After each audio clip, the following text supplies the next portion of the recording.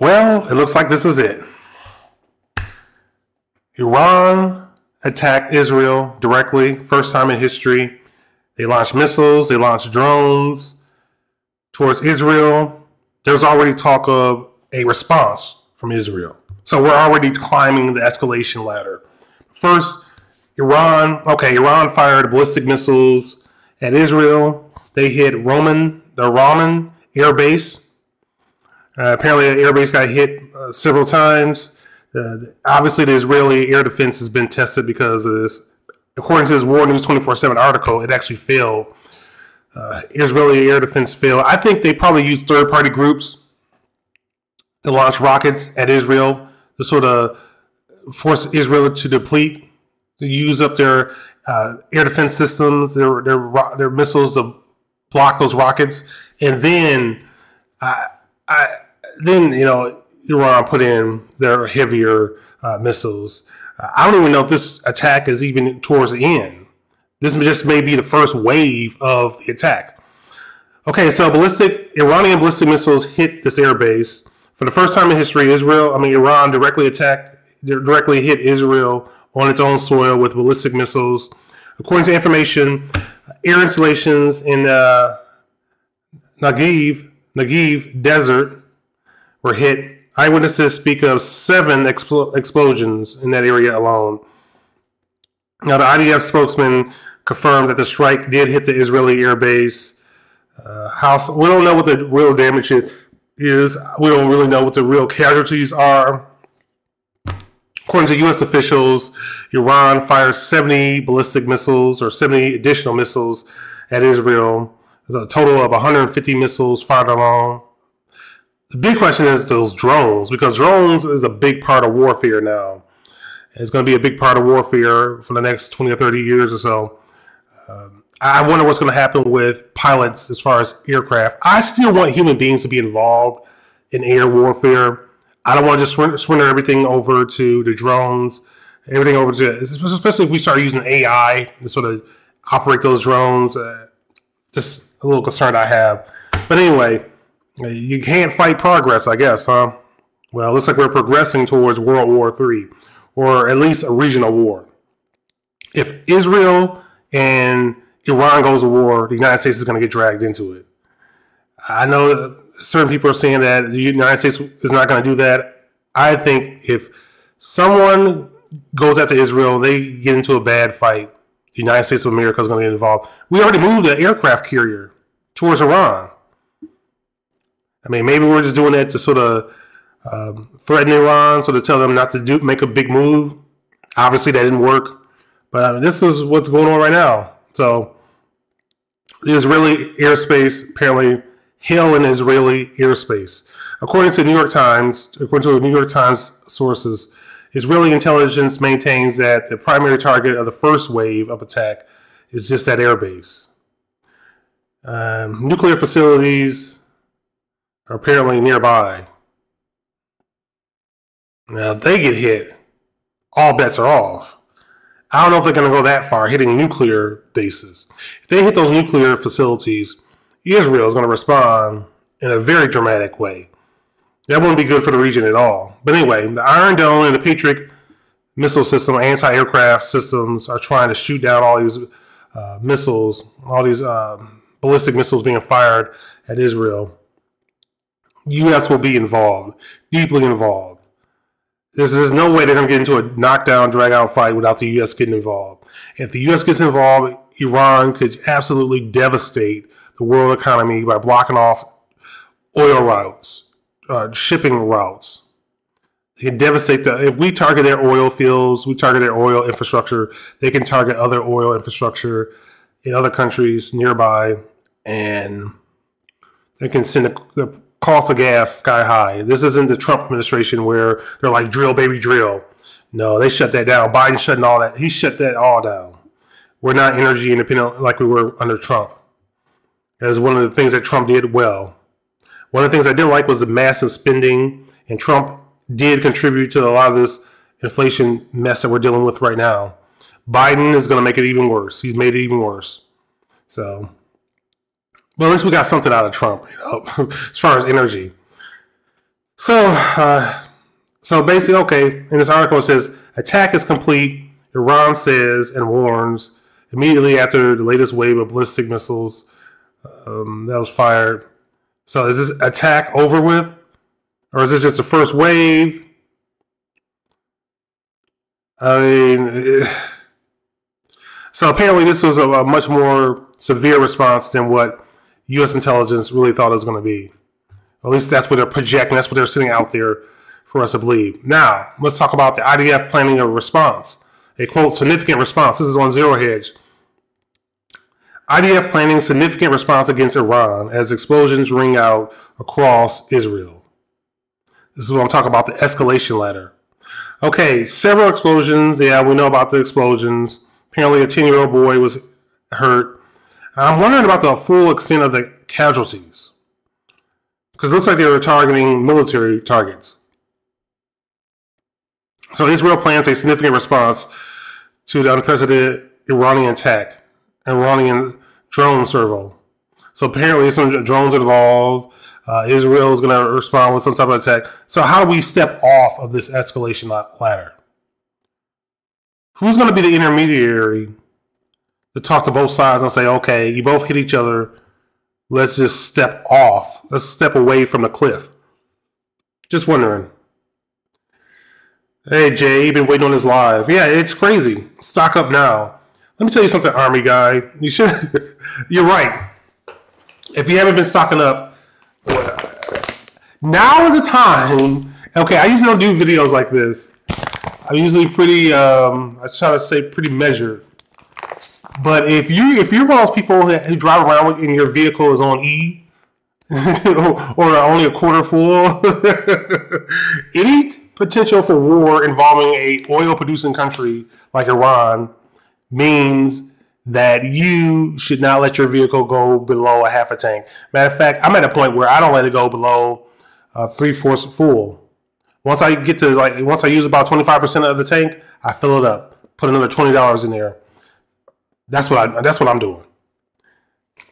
As far as stocking up MREs, yeah. Here's one: chili with beans. MREs. All you gotta do is add water to the heater, and you're you're good to go. You don't need any type of special heater. It'll heat it up for you. MREs ready. Meals ready to eat. Actually, I shared one with uh, some younger guys recently. They were interested in MREs, and I don't get the cheap, crappy MREs. I mean, if it's an emergency, you won't really care, but try to get the good MREs. They could really lift morale. Some of those things come with cool things like Skittles and good bread. The ingredients are actually pretty good in these American MREs, but the, the good ones, not the lame ones. You know, it'll make the difference. It'll put a smile on your face. This stuff is better than you think. I was pleasantly surprised, and they were too. So we went to the mill. We had different parts of it, and uh, yeah, especially the applesauce, man. The cheese, the peanut butter, the soft bread that comes with these meals? Yes. If you don't have this stuff, now's a good time to get it. Now's a good time to go to a, a nearby army surplus store. because, well, I don't know if we're going to go here, but yeah, now is a good time to stock up. Freeze dried food. Really good time to stock up. Now, some of, the, some of these companies make stuff I don't like, like back Packers Pantry. Some of the stuff they make, well, I've pinpointed some of the stuff I like. The, the chicken Alfredo. Because a lot of times these companies, they'll make something and you might not like most of the stuff they make, but they may, they may make one particular meal that you like a lot. That's why you gotta taste this stuff. And the MRE I had, I had, I tasted with, I tested with those guys. It was in my vehicle. So yeah, it holds up. I can. I'm in Georgia. It hasn't got hot yet, but hey, you can put the stuff in your vehicle, keep the stuff in your vehicle, and um, and definitely inspect it because if you're not careful, you might accidentally punch a hole in one of these things and might not even know about it. So inspect these. These here's Mountain House, classic. Everybody should know about this. Mountain House, and get this at Walmart. Yeah. Oh, Armor Ghost says it's, it's a nothing burger. Well, I hope you're right. I hope you're right. I hope it is a nothing burger. Absolutely. Hope you're right. But you know, that's hope. I mean, this maybe it is a nothing burger. But you want to be ready. Beef and potato stroganoff. Man, I'm actually interested in eating this right now. 25 year shelf life. 25 year shelf life.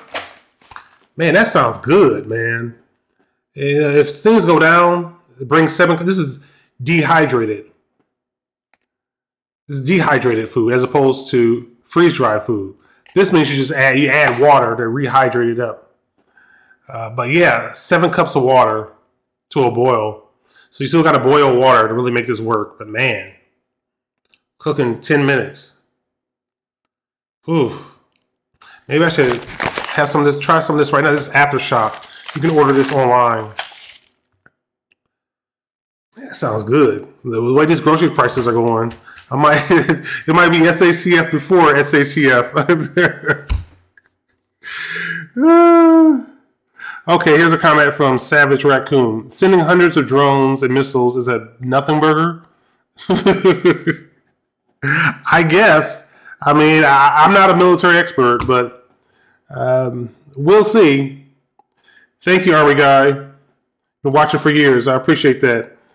Costco. Oh, there's a comment from um, uh, Raccoon. Costco got emergency food boxes. Yeah, you can go to Costco. A lot of these WalMarts have emergency food boxes, uh, buckets. You know, I definitely recommend Mountain House. And you might want to really look at the stuff before you start spending money on it, because some of the, some of the stuff is just really generic. It's just basically beans and rice and just a whole lot of I don't know fluff. You know, it's beans and rice. You can use that, but I don't know. You you don't want to pull weight. They're really good. Can I do it live? Hmm. I don't know. Maybe you, you guys want me to test this out live right now. What is seven cups though? I need a good measurement. That's something I got to do. Gotta, let's see. Cups was. I have a bottle of water with one pint. So how many cups are in a pint? Uh, let's see, cups in a pint. Cups in a pint. Is that a pint? Okay. Two cups. Okay. So, wow. That can't be right. So this is a pint right here? So basically, they want seven seven. It's like three and a half of these. I don't know. That's that's that's a lot of water. My goodness, doesn't seem right. Makes eight cups prepared. Bring seven cups of boil, seven cups of water to a boil. Seven. My goodness. Anyway, I, I got distracted there. No sound. You can't hear me? You guys hear me?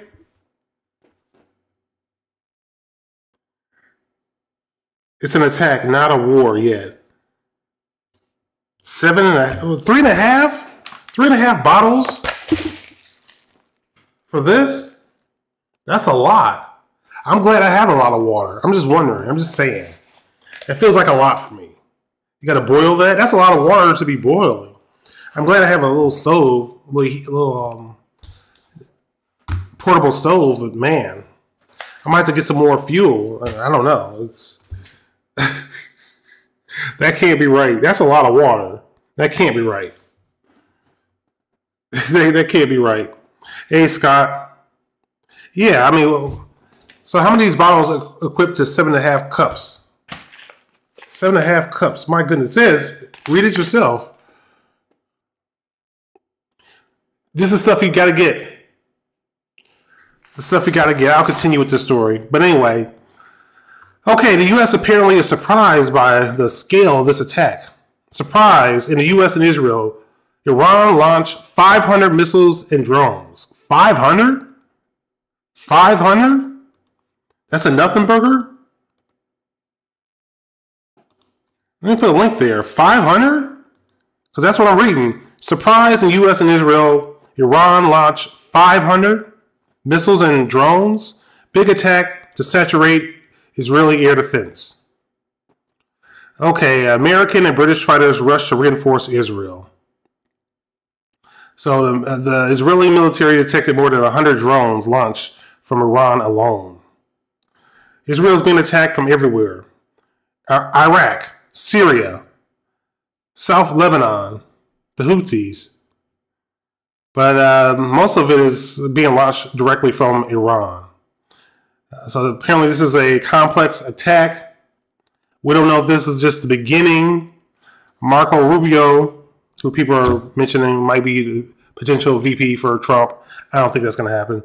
But anyway, vice chair of the Senate Intelligence Committee, a member of the Gang of Eight, great, said that the attack on Israel by the regime in Iran is going to be more extensive than initially expected. So it's, it's, it's worse than they expected. Uh, whatever that means. Yeah. So Israel already talking about retaliating. Let me go back to that. Israel talk about retaliating. We don't know how they're going to retaliate. My question is, how are they going to step off of this escalation ladder? So Israeli F-15, F-35s, excuse me, have already downed drones. They're shooting down drones. Uh, this is likely only the beginning. Hmm. Only the beginning. It will take around nine hours before they reach Israel and can be intercepted by various air defense systems. They're talking about the drones launch. Nine hours. These things are slow. I mean, obviously, Iran's a big country. It's it's a big amount of distance. You know, it's they got to go all the way across Iraq and across Jordan. Uh, not everything's a hypersonic missile. I mean, not everything's a cruise missile, but these are drones. So most likely suicide drones. So they're just designed to be operated from from afar, and they just drive, fly them into the target. So that's we'll see. I, I, think they use the missiles, they use the rockets from other parts of the of the Middle East to wear down the Israeli air defense, and we might see the full uh, force of this when those drones, when all the drones come in. I don't know what we're about to get into. Like I said, fill up your car with gas. You should always have your vehicle pretty close to F full. If you don't have emergency food, get it. If you don't have water, uh, yeah, go to Walmart. I mean, Walmart isn't open 24 hours like it used to be. So it's not like if you know you know what hit the fan, you can just run to Walmart at two o'clock in the morning and uh, start buying canned goods and water and stuff like that. I don't think people realize how significant that is because Walmart came in and they just destroyed the competition in these small towns so now a lot of small towns don't have anything but Walmart. and the cool thing about Walmart is it was open 24 7. But then when COVID came, for some reason they use that as an excuse to not be open for 24 7. It's really bizarre. They just got away with that. They just decided we're not going to be open for 24 7. We're going to close at 10 or 11 o'clock. And they were able to get away with that. And so you, you have all these local businesses, small businesses that got destroyed by Walmart, but then you don't even get a benefit of having an actual Walmart, which is one of the benefits is you can go there anytime you want. Anyway, that's just my little side rant. And it's relevant for SHTF, especially if you're not prepared. You know, if you imagine if you got a phone call from somebody well positioned, they warned you that, hey, you know what? In about six or eight hours, the crisis is going to be worse than you think. I'm not talking about this situation. I'm saying a hypoth- hypothetical. What if you got a phone call saying, "Hey, you know, by this by, by eight o'clock in the morning, uh, the news is going to be out. They're going to put a quarantine in the city or whatever. Uh, you got you only got a certain amount of time to make moves because Walmart is closed.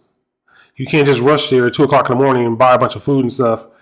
Uh, it would sort of limit what you can do. I mean, I know it's a weird hypothetical, but it's just something to think about.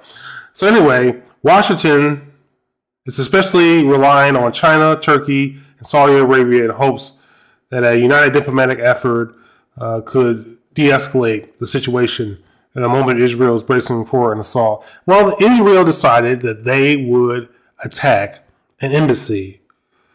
Well, it's basically an embassy in, Damascus.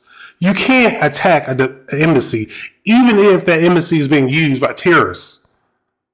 The embassy is supposed to mean something. So once you do something like that, you're directly attacking a country. They can interpret it as an act of war. And lately, Israel's been acting as if they can do whatever the hell they want. And they may find out that they can. I mean, I, I think they have the U.S. behind them, so they feel like they can do whatever they want. And I do know that they're in a situation where they feel like they got to take big action to protect their people. But I do think that part of the situation is okay, they got the U.S. involved, U.S. has their back, so they feel they can just push the envelope. We're about to find out how far they can push it. So anyway, we've also I'm, gonna continue. I'm gonna continue with this Zero Hedge article. You, uh, we've also engaged, and this is uh, U.S. Secretary of State of U.S. Secretary of State Antony Blinken. Uh, he was talking about how he's working with the Chinese foreign minister.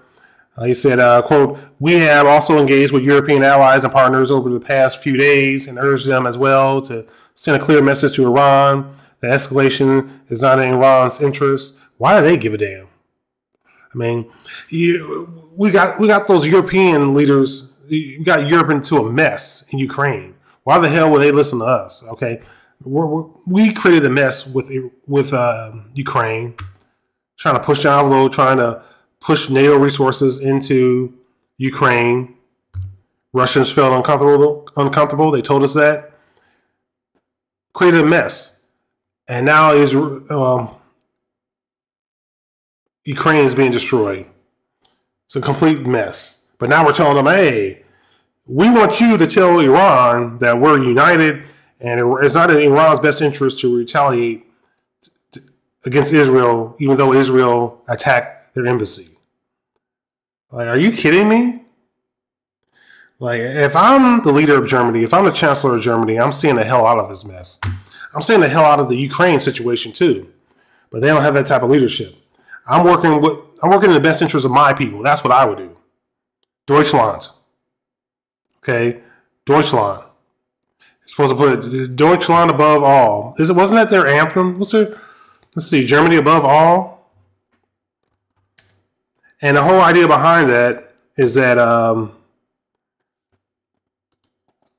the whole idea behind that is that there's Germans are supposed to put the best interests of the country ahead of all the, the tribal, petty local politics.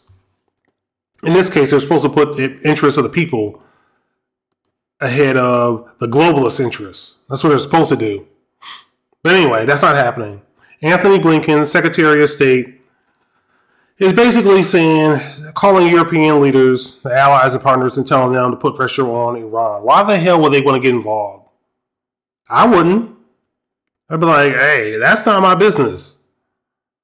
Okay, it's not in my country's best interest for me to be on the phone telling Iran what they need to do in response to Israel attacking their embassy. Anyway, I'm going to continue his quote. It's not in the region's interest and it's not in the world's interest.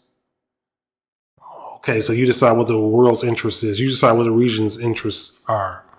Okay, sure. Okay, War Monitor said that uh, two sources told CNN where Washington noted that Iran is moving military assets, including aircraft and cruise missiles. That was yesterday. Okay. Well, the question is, what is Israel going to do, and what can you do? Because a lot of times when I talk about this stuff, I want to talk about what you can actually do. Uh, just be ready. You should have that food. You should have that water, lights, radio. Make sure your radios are set up. For this afternoon and tonight, the probability for widespread hazardous weather is low. That's the weather station. Might want to get that program into your uh, radio. Uh, it's something you might want to do. Have your lights always available. You should have flashlights on your person. That's something you should always do, especially if you conceal carry. But hey, flashlights all over your house. Radios, battery operated radios. Make sure you have batteries for this stuff. Make sure you have battery operated flashlights. Make sure you have enough uh, the basics if you do not have several cases of water, get it tonight. Well, Walmart's probably closed now, so you probably can't get it tonight. Uh, I would get it first thing in the morning. If your vehicle is on E, I would definitely recommend that uh, you get some gas as soon as possible. Probably not at midnight on Saturday, depending on where you live, but uh, I, I would strongly consider. So, just a thought right there. All right. Let me look at the, the chat. Are you saying the Australian painter was right? What do you mean? Oh, the Australian painter. I'm talking about putting the interests of your country ahead of all the nonsense. This was an anthem of the Weimar Republic, which is interesting because the Weimar Republic didn't put the interests of the people ahead of their foolishness. So after they lost World War One, they decided to pay back their debt. They agreed to pay the winning side a certain amount of money in Deutschmark or whatever their currency was. And they decided to hyperinflate their currency to pay their debt. Uh, and, oh, does it sound familiar? uh, Black Ghost said, go to Super Walmart tomorrow at 6 a.m. Well, yeah, nothing will happen. Well, yeah, I hope nothing does happen. Uh, two weeks of water. Uh, yeah, at least two weeks of water. I've, I've got how many cases of water I'm looking at right now? One, two, three. It was like 40 bottles of water in each case. The big ones from Walmart. I can see one, two, three, four, five, six, seven, eight, nine, 10, 11, 12. There's probably some buried underneath there. Uh, I, I just that's just for one person. That's just for one person. So I would get a case per person per month. So if you have three people in your house, how at minimum I have a case for each person at all times. At least. And that's just drinking water. That's just drinking water. You're gonna need more water for other stuff too. And that's just like a minimum.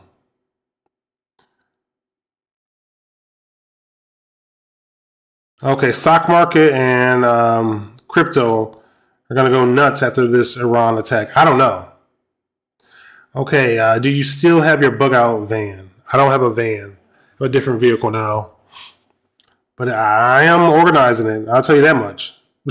I'm definitely organizing it. Am I stacking silver? No, I'm not stacking silver. I hope you have plenty of ammo. So, all right, let's see what. Oh, yeah, I did a review on Civil War. I actually enjoyed that movie. I saw it twice. I saw it twice. I really enjoyed the movie. Some some people thought it was uh, partisan. I heard some people argue that the president in that movie was actually Trump. Absolutely not. I think a lot of people just lost the whole point of the whole movie. Some people said it didn't have much of a plot. And it's a road movie. It's about a bunch. It's about four journalists who travel across the country to get to DC to cover a big story in the middle of a civil war. The last story, really. Uh, dictator president going down. Rebels going after him. That's that's basically what it is. Okay, and there's it's it's it's pretty subtle. It's not one of those movies where they spoon feed you every big point. Uh, it's anyway. Do you think there's going to be an election? That's what Charles wants to know. You know, I think that Trump can win in a landslide, but here's the biggest prediction I don't think it's going to matter. One of my predictions is that I don't think it's going to matter. I don't think people are really going to care that much about the election on election day because there'll be so much craziness going on. Now, so far this year has been pretty boring, but things might get interesting okay, Trey Porter said the, the movie was politically neutral. The movie didn't get, didn't get bogged down into partisan politics. It wasn't really about that. It was a warning, like that one point where uh, Lee, the character Lee, played by Kirsten Dunst, she said that she went she went all around the world filming or photographing these war scenes, and she was sending a message home saying, "Don't do this here." And during the movie, she struggles with the with the reality that there's a civil there's a civil war and people didn't listen. So a lot of ways, it's a lot of ways the movie is about how people don't listen to journalists anymore, and I, I totally get it. I didn't view them as being journalists because I don't think much of journalists anymore. I, I view most of the people in the media to be propagandists, pushing an agenda for the establishment, most, mostly a leftist agenda, an agenda that hurts the best interests of most Americans. So that's how I view the media. So I, I couldn't look at these journalists as uh, the media, not the media that we have. I sort of viewed it as an alternate reality. Some people got bogged down in the whole idea that it's supposed to take place in the future, 20 years in the future. I looked at it as an alternate reality with similar problems that, eh, to our reality, an alternate universe. An alternate universe where journalists was still the same type of people, but they actually did their jobs. That's basically how I looked at it. I didn't look at them as journalists really going across the country. I looked at them as people going across the country. That's how I view them. The movie was intense. Some people say it sort of dragged at certain points. I get where they're coming from. It wasn't trying to be a non-stop action movie. There's plenty of action. There's plenty of action. You know, it's it's just more realistic. You know, it's not your. It wasn't trying to be overly dramatic. It was trying to be really realistic. I like the fact that that guy, one of the journalists, the younger guy, he started off being really excited by the violence in the war. He said they actually turned him on. He was really excited about it about by the violence. He was really cool with it until his friend got killed, until it bit him. Because for a while he was a bystander. I'm, about, I'm gonna say I'm, okay, I spoiled it, but anyway, I'm not gonna spoil it too much. It's interesting how people could really be excited by the violence until eh, almost as if they think it's not going to touch them. But when the violence touches his life, like directly, it's, it's interesting watching his change. I thought the movie was really intense. Speaking of movies, I saw Arcadian Arcadian tonight. Sorry, Nicolas Cage. I don't want to spoil that too much. Um, it's basically about this man and his two sons. We don't know what happened to his wife or whatever. I didn't catch that. I don't even know if it really was his biological sons or whatever. I just know that he raised them. But anyway, it takes place in a world where something happens with the environment. It's a post-apocalyptic post-apocalyptic situation, and they have to be be indoors at night because these creatures come out, these monsters come out, and they basically kill people. They eat people, they consume people, and one of the teenage boys uh, develops a friendship with a young lady on a farm, nearby farm. And I don't want to spoil too much of it. I will say that yeah, it's it's not a very long movie. I was engaged with the characters, although I don't really remember all their names. You don't really have to remember their names. They understand their purpose. You have to uh, it was actually a pretty decent movie, so I'll just leave it at that. I don't want to go into it too much. You have two rain barrels. That's a really good idea. No, I don't have any rain barrels. No, I don't. Civil War multiverse. Um, hmm. You're a psycho brass, so that's cool. Okay. Have you guys seen the TV show Fallout? I know it's weird. As much as I like apocalyptic shows, I haven't got around to seeing that show Fallout. I haven't. I'm actually going to watch that as soon as I'm done with this show right here. That's what I'm going to be doing this Saturday night. yes, I guess I'm pretty boring in that sense, but but yeah, I mean, as far as emergency preps, I have that stuff. I, I don't know. I think I've done everything that I can. Uh, there are some areas I wish I can uh, beef up on. But um, yeah, uh, one more time, if you haven't got the stuff, the food, the water, now's a good time to do do so. Let's see what else is going on because some some of you guys think it's a big nothing burger, and you may be right. Oh man, I want to talk about some other random stuff. Uh, what's this one guy? The Kunstler cast? What's his name? He had some doctor on his podcast. He had some doctor on his podcast talking about how there's going to be a bunch of deaths, COVID re- vaccine related deaths coming up pretty soon. And he did this on what, March 31st. I'm looking at this right now. Uh, it's an interesting, uh, it's interesting podcast, but it's already been 14 days. And I don't know what he's talking about. Uh, we haven't seen anything like it. Anything like he's his prediction doesn't seem to be coming come to pass. I'm just wondering. I mean, but I'm still interested in listening to different perspectives.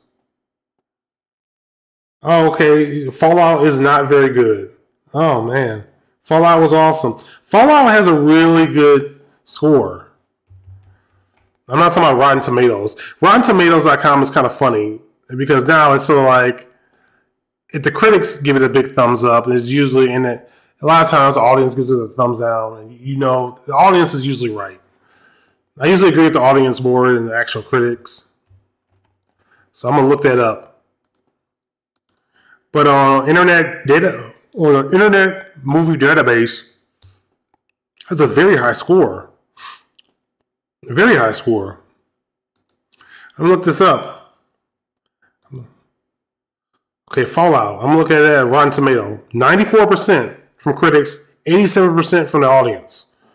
Dude, come on. This show's gotta be great. There's no way. Show You say it's already happening. It's called excess deaths.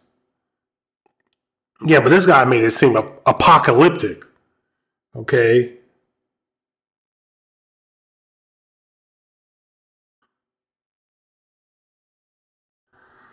Uh, I mean, he made it seem. What's his What's his name? I'll let you guys look it up yourself. I'll put a link in here to the podcast. You guys can listen to it yourselves if you have any time.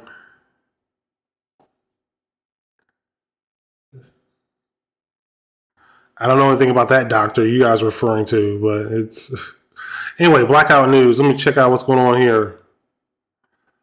Uh, people still talking about Diddy. I mean, what the hell happened to the Epstein list? Uh, I'm curious. What the hell happened to the Epstein list? We never heard any, we never got anything from that. Talk about a nothing burger. Like we never heard who was going. I heard all this talk about all these powerful people going to this island on the island. We never really learned anything. We just got a bunch of BS. We never learned who was actually involved in the stuff, and we never will. They silenced him and they protected the powerful people because that's what the country's about. Period. Uh, anyway. All right, guys. Uh, let me see what else is going on with Israel. I, I do want to take a quick quick poll. Let's see what's going on. Quick poll. Is this a nothing burger? Let me see what you guys think as far as. Okay. Is Iran attacking Iran attacking Israel. Iran attacking Israel. Is it a nothing burger? Well, no, wait. What will happen after? Okay, what will happen after the after Iran attacks Israel? That's the question. What will happen? What will happen after Iran attacks Israel? First option, nothing.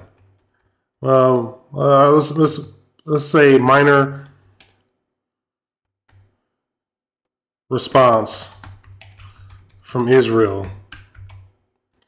Another option, regional war. Add another option. World War III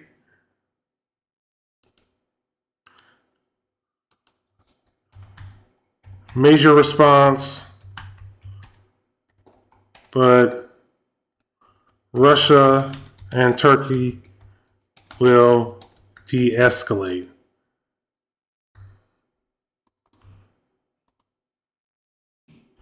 How about that as an option? Let me see what you guys have.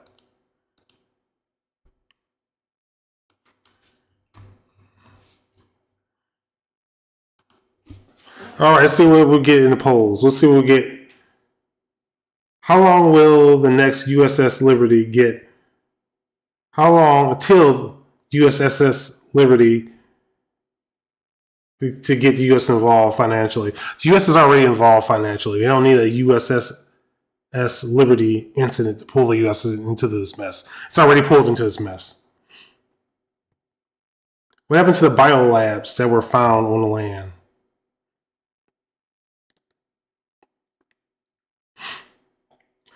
Okay, Bob said, I bet these new outbreaks are from the labs. Uh, you know, I've heard some people talk about another pandemic. I heard some people talk about how there's going to be massive deaths because of the COVID vaccine, and um, we're not really seeing anything on a scale that some people were talking about. People are talking, people are making it seem like it was going to be apocalyptic or whatever. Uh, it's going like a like a mass die off or something, and it just didn't happen. I'm not saying there's not an increase in deaths related to the COVID vaccine. I don't know about that, but I'm, I'm talking about like apocalyptic. That's what some people are making out to be. Okay, bird flu. Uh, is this going to be another nothing burger?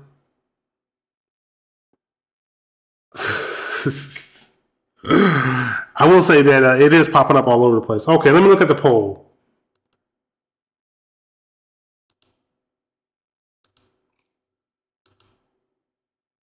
Okay, minor response from. Okay, we're not. I got 26 votes in. I'm gonna get some more votes in there. Go ahead and participate in the poll. I'm curious. We got what 163 people in this room. So if you like these type of broadcasts, go ahead and give it a thumbs up. I do want to see what you guys think as far as the poll. So go ahead and participate in the poll. Okay, Putin is already giving his support to Iran. Oh, well, yeah, you, we know that, but you know, there's going to be parties that are going to be biased towards one side or the other maybe they can have a party that's biased towards one side and another major party that's biased towards the other side. Maybe the U.S. and Russia could work together. okay, I, I, know how stupid that sounds, but maybe they both could work together to sort of de-escalate the situation. It's possible. 31 votes, that's it. 31 votes. I guess I'll end the poll. All right. So here's what we have. What will happen after Iran attacks Israel? 30, number one, 31% said regional war. The second most common response, 34% said minor response from Israel. So 18% said World War III. 9% says Russia and Turkey will de escalate. Well, I'm hoping there's a de escalation. That's what I'm hoping. Anyway, guys, I'm to start watching Fallout. Guys, thank you for taking the time to join me here. If something big happens, I'll go live again. Appreciate you guys. Have a good weekend. Thanks for watching. Thanks for listening. Don't forget the future belongs to those who prepare for it today.